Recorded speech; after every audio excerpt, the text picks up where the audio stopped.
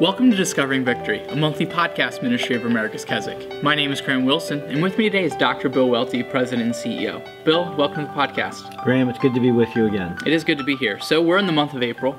Um, next month, we have two very exciting events that I want to talk about.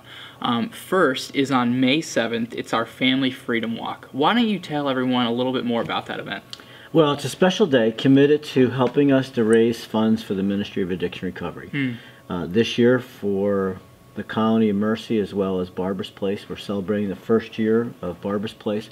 And so folks can come that day. They can walk, they can rock on rocking chairs, they can swim laps in the pool, but the whole purpose of that day is to just have a lot of fun uh, asking folks to get sponsors so that we can raise money for the Family Freedom Walk.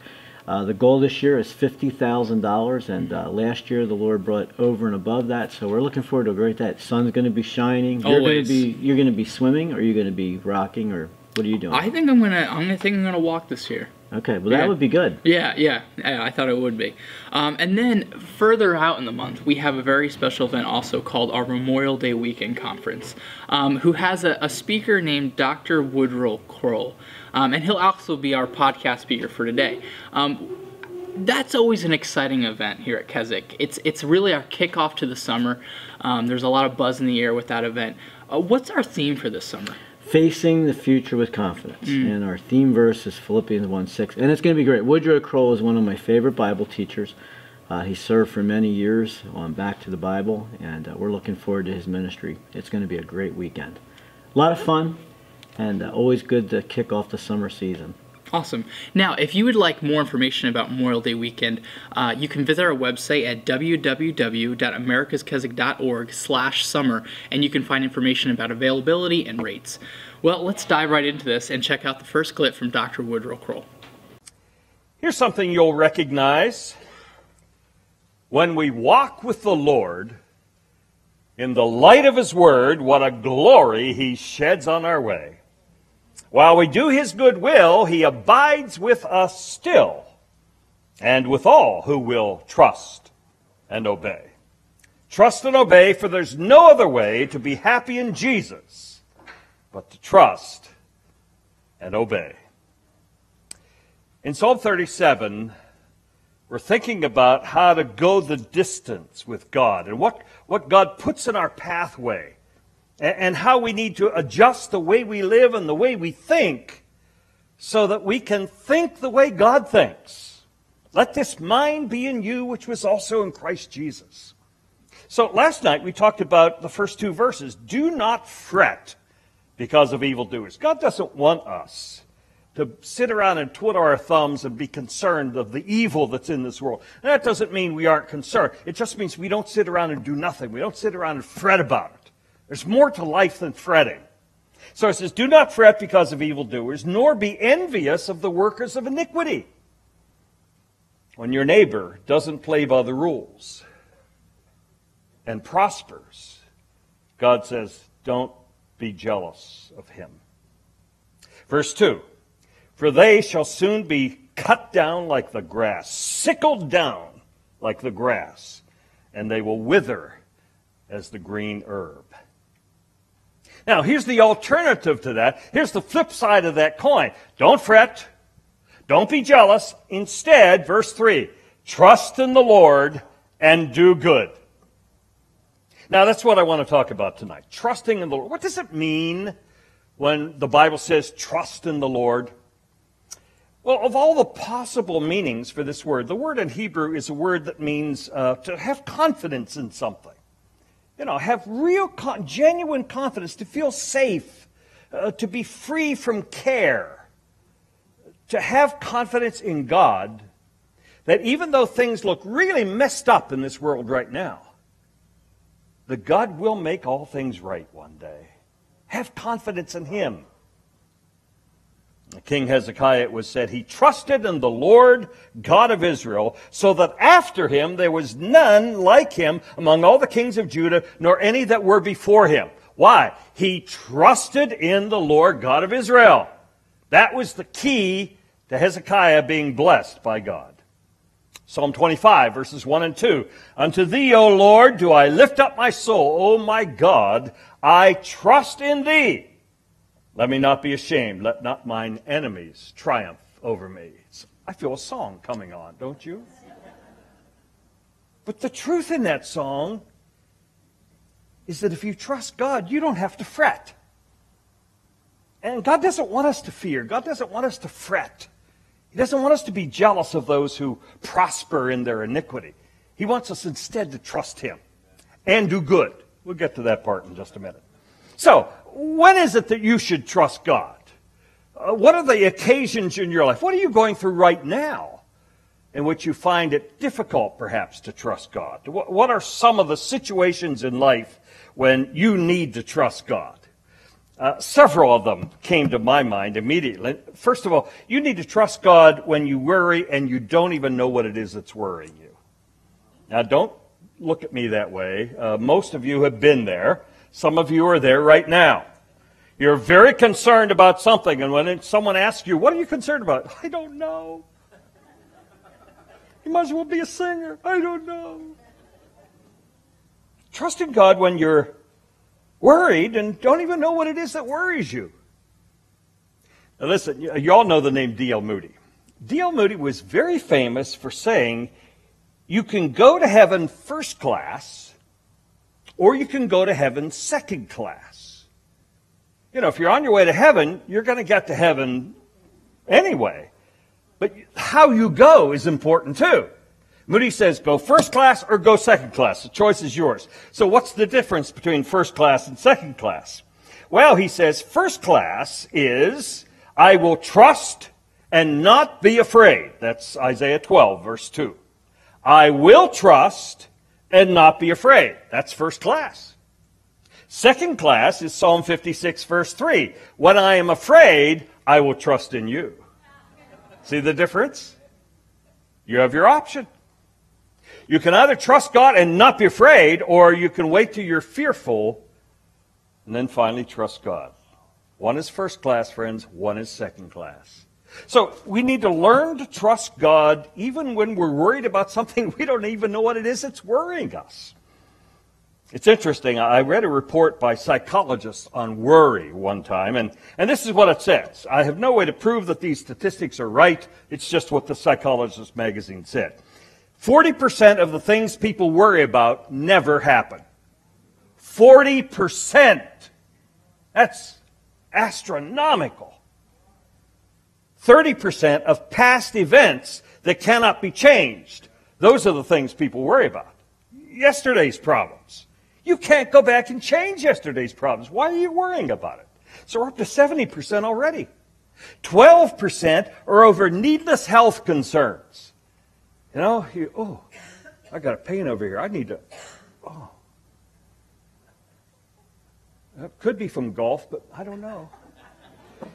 12% needless health concerns. 10% are over trifles, just little things that, that really don't matter. That leaves 8% of the things you and I worry about as potential things to worry about. 8%. You can go to heaven first class or second class. You want to go first class, trust in the Lord and don't be afraid. Don't let that 8% weigh you down.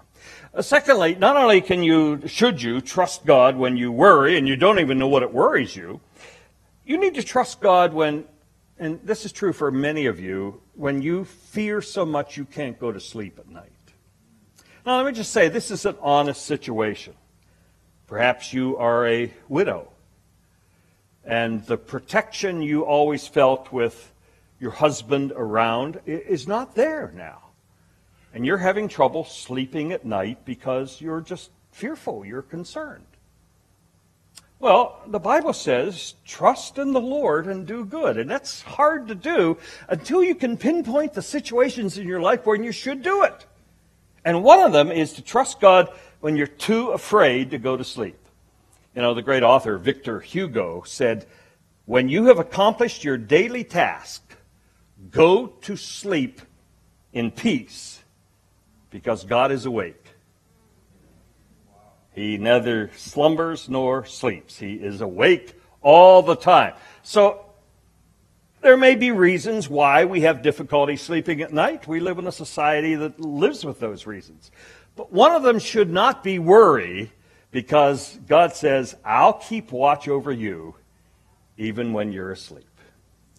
So when you go back to your room tonight, please don't do it in the next few minutes, but when you go back to your room tonight, sleep well, friends. Sleep well. Uh, one of my favorite books, it's out of print now, and I wish it were not. It's uh, a book entitled Eternity Shut Up in a Span. The man who wrote its name is William Marshall. And as I say, it's, it's a terrific book. It's out of print. You can hardly even get a copy. I've tried several times. And uh, you know how it is when you go to after books that are pretty rare? Uh, the first bid on eBay is like $179 for a $9.95 book. So, you know, I haven't bought this book yet, but I have read it. And there's this great story in William Marshall's book, Eternity Shut Up in a Span, about a woman who was always concerned about burglars.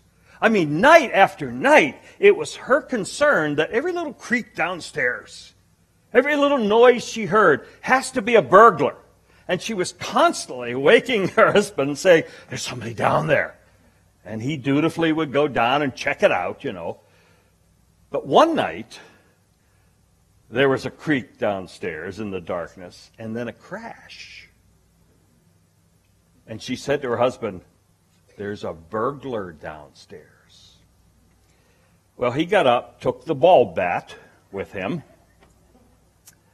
went downstairs, and went room to room in the darkness looking for an obvious person in the house.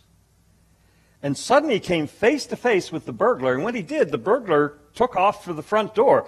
But the man was closer to the door. He stood in front of the door and stopped the burglar from going out. And he said to the burglar this You're not going anywhere. My wife has been looking for you for 10 years, and you're coming upstairs to meet her. Now, Now, that's, that's a pretty extreme example of not being able to go to sleep because you worry about things. Trust in the Lord. It's not just an expression you hang on the wall, it's the way you live your life. You don't control much of what's in your life, so you have to give it over to the person who does. Trust in the Lord and do good. In this first clip, Dr. Kroll talks about trusting in the Lord and finding real confidence in Him. Um, he also talks about one of the side effects of not trusting in Him is worry. Uh, I found this message very timely. When you think about he recorded this message over two years ago, um, and he actually used the phrase facing the future mm. with confidence. Um, when I look at our current world, uh, when I turn on the news and I look at our cur- current political climate, um, I must tell you that I have the tendency to worry. Well, I, I, I, can relate to that because my grandmother was the best worrier. In fact, we often joke with her that if uh, we wanted to have somebody worry about it, we'd give her the subject and she could worry. She could take it to the nth degree mm. in terms of figuring out all the scenarios. Uh, somebody said that worry is assuming responsibility that God never intended us to have. And the opposite of worry is trust. Mm. And that's sort of what we're leading into as we think about this summer. It's trusting. Trusting God. In fact, my word for the year is trust. Uh, it's easy to trust when things are going well. Mm. It's even more challenging when things are not going well. But God wants us to trust Him with everything. Mm. Not just some things, not with most things, but to trust Him in everything. Great. Let's take a listen to the second clip. So trust in the Lord when you don't know what you're worrying about. Trust in the Lord if you can't sleep at night because you worry. Trust in the Lord when you don't understand what He wants you to do because you're kind of in the fog of experience, you know? Uh, everything is a little misty in your life. Uh, you're looking for the will of God and you don't know what it is. Uh, we've all been there. I, uh, I spent some time in my life in uh, the state of Virginia. I was actually the dean of the School of Religion at Liberty University back in the early days of that school. And my wife and I thought we'd be there forever. So uh, we built a house. We built exactly what we wanted. It wasn't very expensive, but it was a nice house and it was what we wanted. And the night we moved into our house, we knelt by the bed, both of us, and we gave the house to the Lord. We said, Lord, this is your house. We'll have joy clubs here. We'll have five day clubs here. This will be a lighthouse for you in this community. Lord, if you want this house, take it. It's your house. We give it to you. Now, you've got to be careful when you tell the Lord things like that. Because 15 months later, an institution that I love dearly contacted me and said, Would you consider coming back as the president? Now, I had graduated from there and I had taught there. And I really didn't want to go back because it's warm in Virginia. It's cold in New York. So they said, Well, at least consider it. I said, I can't consider it, but I can do this. I can come, meet with the board, and tell you the kind of man I think you need to hire. You know, the kind of person would be a good president for your college. So I did. I went up, met with the board, and spent several hours just kind of laying out the leadership that I thought they needed for the ministry there. And they dismissed me, and I went over to the student center to get some coffee. And suddenly a board member shows up and said, Would you come back to the meeting? So I did. I told them, you know, here's the kind of man you need. I am not that man.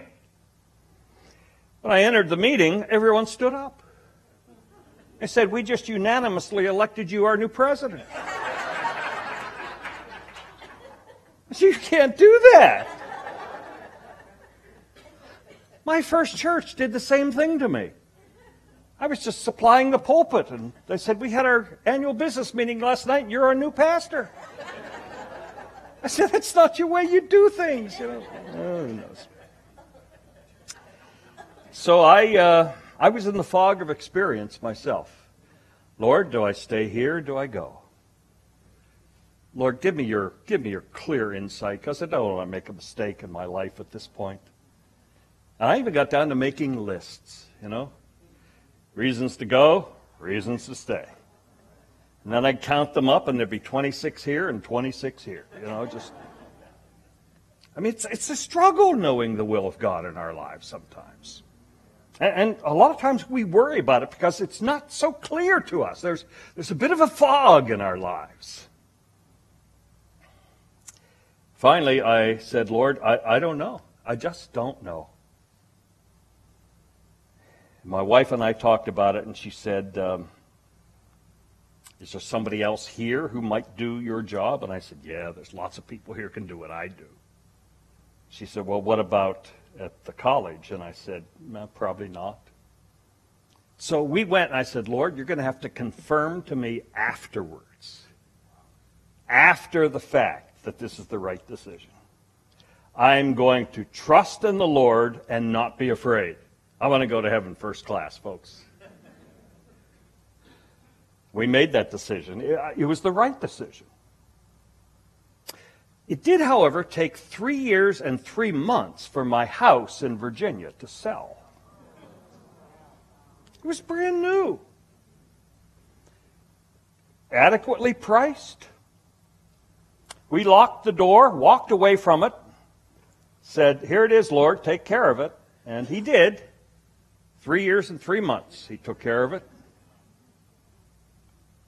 Finally, after 10 years at the college, Back to the Bible contacted me, and I was in the throes again of being in the fog of experience. When we finally made the decision to move to Nebraska to be a part of the radio uh, ministry, I said, Lord, remember that incident uh, 10 years ago where it took three years and three months to sell my house? Whatever the lesson was you wanted to teach me, I'm sure I learned it we don't have to go through this again. And God was good. This time it took three years and four months to sell our house. Now, you know what I've learned through these experiences? I made a house payment in Virginia and a rent payment in New York, the total of which was more than my salary at the college. I never missed a payment either place. Where did the money come from? I don't know, but I got a suspicion. Go to heaven first class, friends. Trust in the Lord and don't be afraid. That's what he's getting at here in verse 3. Don't make this the motto of your life. Make it the lifestyle of your life. Trust in the Lord. Don't be afraid. It's just a little poem I loved. I want to read it to you here. It says, There was a very cautious man who never laughed or played. He never risked. He never tried. He never sang or prayed. And when he one day passed away, his insurance was denied. For since he never really lived, they claimed he never died. You can go to heaven first class or second class. David is appealing to you to trust in the Lord and do good. Do it first class. Don't fret because of evildoers. Don't get jealous or envious of those who prosper wickedly. Instead, just trust in the Lord and do good. Well, we can trust in the Lord. You know, the expression trust in the Lord occurs 15 times in the Bible. The first time is found in 2 Kings chapter 18, verse 22, 22 and, and verse 30. This is when Sennacherib, the, the great general, is surrounding the city of Jerusalem and he's about to overrun the city of Jerusalem. It's said of King Hezekiah that he trusted in the Lord. The last time the expression is used in the Old Testament is Isaiah chapter 36, verse 7 and verse 15. And guess what the account is there? It's the same account. Sennacherib surrounding the city of Jerusalem and Hezekiah, the king, trusting in the Lord. These are kind of like bookends to all the times God says to us, trust in the Lord. If Hezekiah were here tonight, he'd be a remarkable guy living that long, but if he were here tonight, he would tell you, go to heaven first class. In the second clip, Dr. Kroll talks about how we need to trust God in the fog of our life. Um, it can be very difficult in times to see God's will. I know that's always a, a, hot topic to talk about. What's God's will for my life? And sometimes it can be difficult, but He calls us to trust Him through that situation. Sometimes it's hard. To, you, sometimes you feel like there are days where you just can't even put one foot in front of the other. Um, there doesn't seem to be a way out. It, life becomes so ominous. I think about some of our staff that have gone through really difficult times. We have one of our chaplains uh, mm. who lost a daughter at age 37, and they're walking through a really dark time right now. But, but as he, as we yield to him, and we trust him, he seems to make a way when there doesn't seem to be a way. I love this quote. Joyce actually sings this song when we don't understand, when we can't see his plan when we can't trace his hand, we can trust his heart. Mm. That's what he wants from us. Great. Let's take a listen to the final clip. Well, trust in the Lord. Trust in the Lord for things you don't understand. Trust in the Lord when you're in the fog of your experience. But you need to trust the Lord God for your future as well. Because, you know, the future is in His hands, but it's not always on our calendar. Sometimes things happen to us that we don't anticipate last Tuesday evening, one week ago tomorrow night. I was speaking at the Bible conference in Pennsylvania, and three pastors were asked to get up and tell the funniest thing that happened to them in their ministry. And one dear gentleman, older pastor, retired now, got up and he started talking about how God saved him and led him through his life and how God had been with him all the way through his life. And we're all kind of scratching our heads saying, which, what's the funny part here, you know? but he finally got to the funny part and he told us that. And I'm so glad he gave his testimony and said how the Lord had been with him all his life. Because about 10 minutes into my message, he slumped over in his chair some nurses put him on the floor, did CPR vigorously for 20 minutes, but he did not survive. I thought, what a glorious thing. Go to heaven from a meeting like this, having just given your testimony of how God has been with you all the days of your life. Trust in the Lord and do good. So you need to trust God for your future as well. You need to trust God when you can't see what the future is. And that's most of the time, isn't it? Mary Brainard said, I would rather walk with God in the dark than go alone in the light. Trust in the Lord. Psalm uh, 16, verse 1. Preserve me, O God, for in thee I put my trust. Trust in the Lord and do good. You need to trust God when you can't see the future. You need to trust God when it comes to the last days of your life. This becomes extremely um, real to me for, because of the incident last week. Psalm 23, you know it well, verse 4 Yea, though I walk through the valley of the shadow of death, I will fear no evil, for thou art with me. Isn't it great to know when you come to that last breath that you're not alone and that the future is secure? and the God you trusted all the days of your life, you can trust this day as well.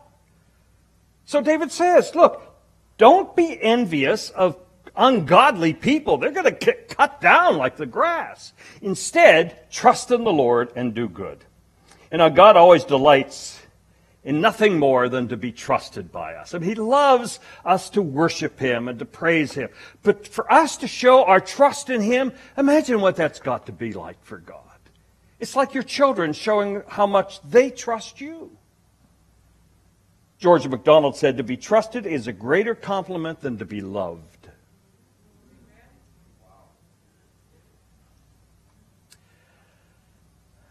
Now, I love my wife and my family. Some years ago, I was flying from Atlanta to Pittsburgh, Pennsylvania. And it was a U.S. Air flight taking off from Atlanta. And when we took off from Atlanta, the, the runway uh, either had a whole lot of potholes in it or something was wrong because it was really a rough takeoff. And about 15 or 20 minutes into the flight, the pilot came on. He said, Well, you probably noticed our takeoff was a little bit rough. And we all looked at one another and said, Yeah. he said, Well, uh, we're not certain whether the nose gear, the wheel in the front, is up or down. And if it's down, we're not certain it's locked in place. So here's what we're going to do. He thinks this is helping us somehow. He says, Here's what we're going to do. We're going to do a flyover of the tower in Pittsburgh. And they're going to do a visual inspection of the plane and tell us whether or not we can land. And I'm thinking, what is the alternative to landing?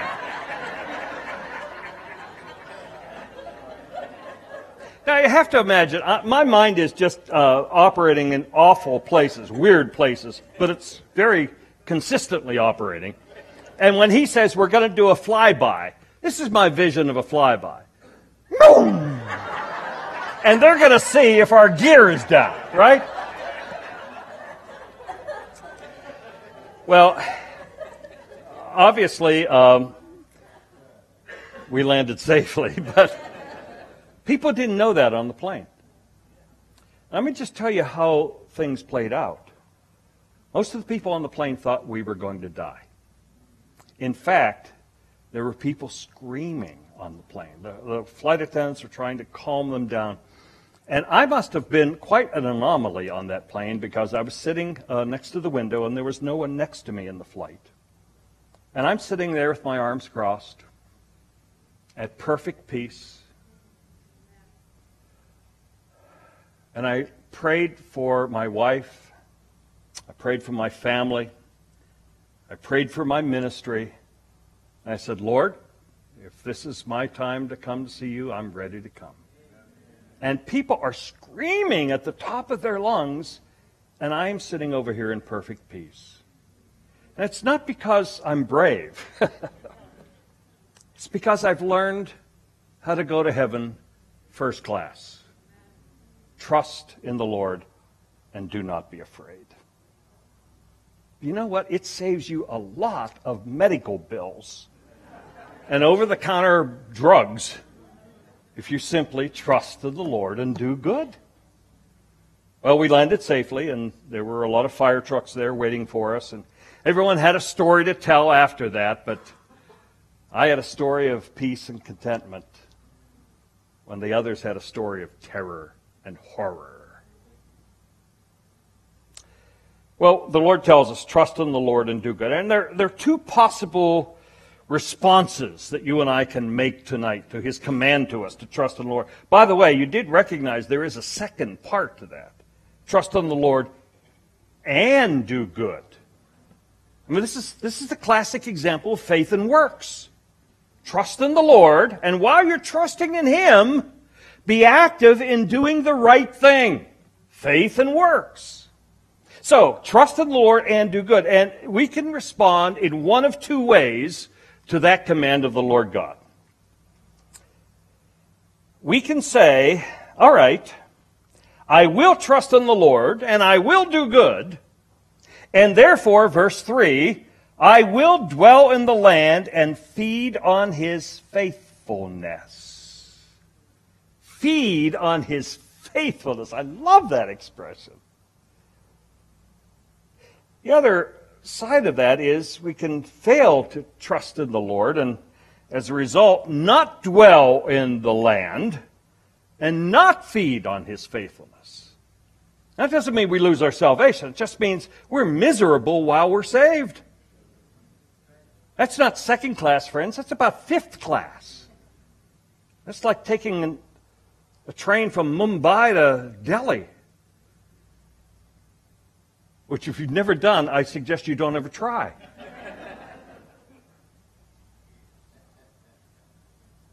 dwell in the land. That's the promise of provision. You know, dwell in the land, God's going to provide for your needs from the land that He gives you. In our case, glory land. And be fed, that's His promise of protection. The word for feed there is the same word for shepherd. He's going to shepherd us through this weary land.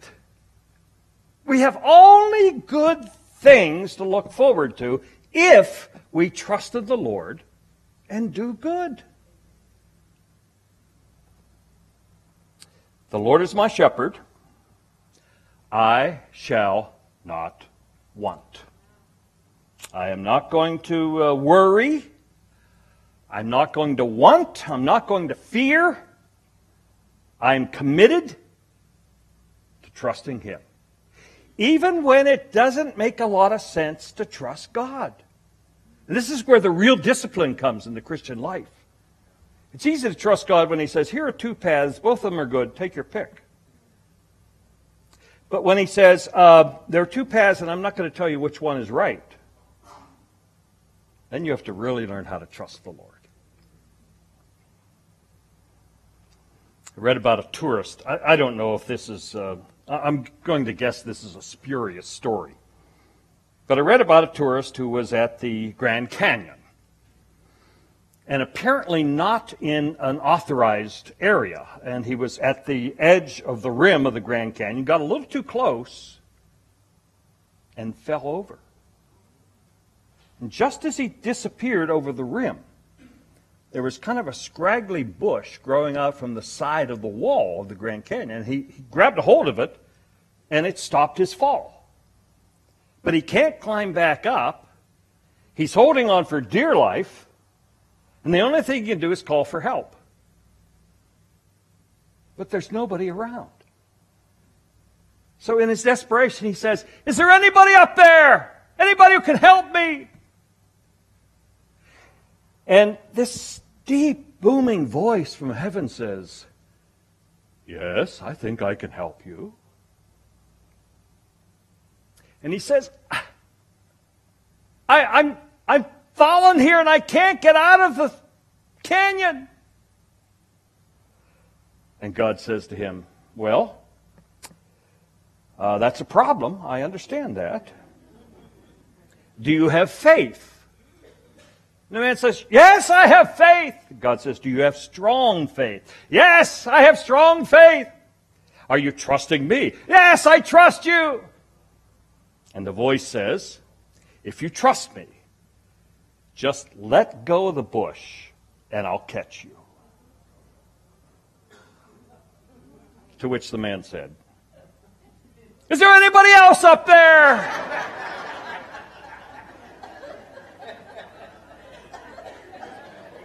See, it really doesn't matter what we say, does it? Matters whether we show God we trust Him or not. Do not fret because of evildoers, nor be envious of the workers of iniquity, for they shall soon be cut down like the grass and wither as the green herb. Instead, trust in the Lord and do good. Dwell in the land and feed on his faithfulness. Don't you love the verbs? Do not fret. Do not be envious. Trust in the Lord. Do good. Dwell. Feed. You can go to heaven first class, or you can go to heaven second class.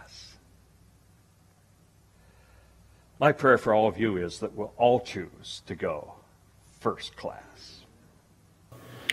In this last clip, Dr. Kroll talks about the blending of faith and works. Uh, he reads Psalm 37 that says, Trust in the Lord and do good, dwell in the land and feed on his faithfulness.